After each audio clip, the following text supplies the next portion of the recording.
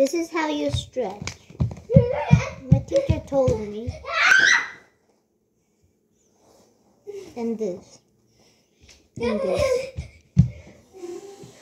You have to pull it down, but not too hard. This is stretching. And